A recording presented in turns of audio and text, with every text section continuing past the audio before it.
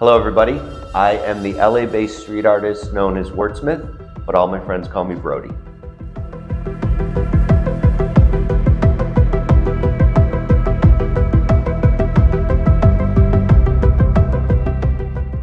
We are here at the Artemizia Foundation in Bisbee, Arizona. And several months ago, the founder, uh, Sloan, reached out to me about doing a piece here at the foundation. And as our conversations proceeded and I presented some mock ups, uh, we ultimately agreed I would do three pieces, uh, which I painted over the last two days.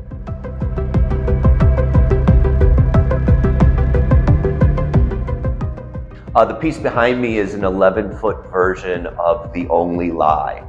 Um, it's actually one of the most popular pieces that I ever have written and painted uh, in the streets. I've done a lot of commissions uh, for this piece.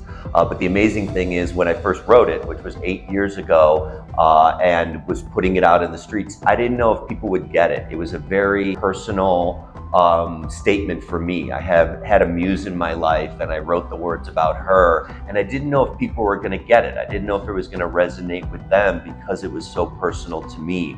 But the moment I put it out there in the streets, the moment I posted it online, the outpouring was staggering.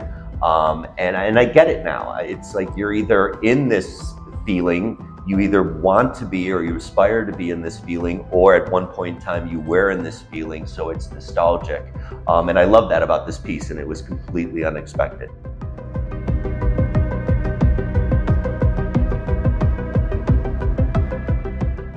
So when I was a kid, uh, at first I wanted to be an astronaut, uh, and then I wanted to be a fireman, uh, and then I wanted to be a teacher, oddly enough. Um, but I was a comic book kid, and I loved devouring comics. And I loved the art in the comics, but more so what I gravitated toward were the stories. And I was fascinated with how they were written.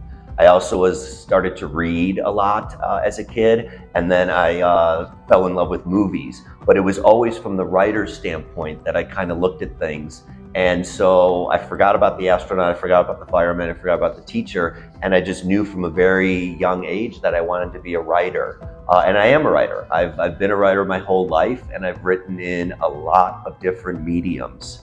The real interesting thing about my work is that all the words that you see above my typewriter resonate with something going on in my life. And that's how Wordsmith works.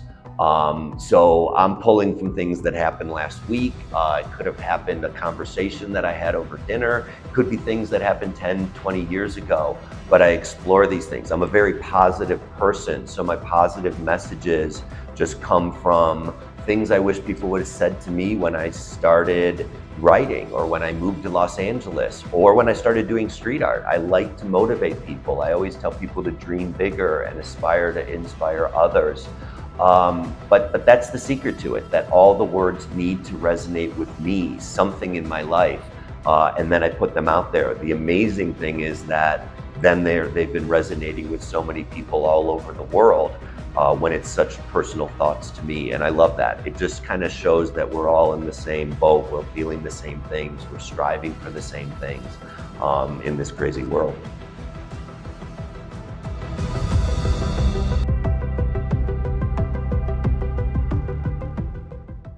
Uh, this is Wonder Woman is a State of Mind, and she is almost 10 feet tall. And it's uh, obviously a woman empowerment piece, uh, and that's important to me. And I wrote it about uh, six years ago, and I've painted it in a lot of different sizes and places. And this is uh, one of the largest uh, versions of it.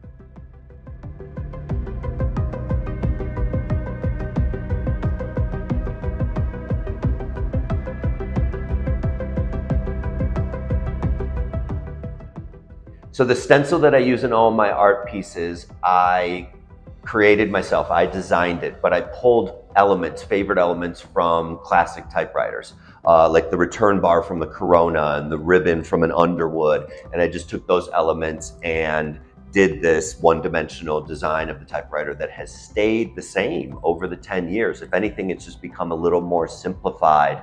Um, and obviously the sizes have changed. I started off doing very small pieces, but as I gained more confidence and and continued to you know paint walls all over the world, um, I started doing larger and larger pieces.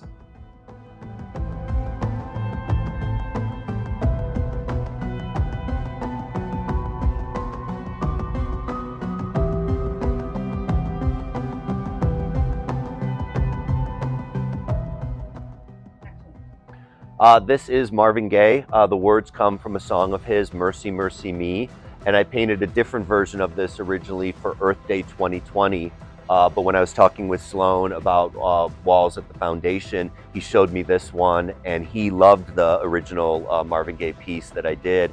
So I designed a different version of it for this wall and we decided to put it outside obviously because it's because it addresses climate change and just everything going on in the world.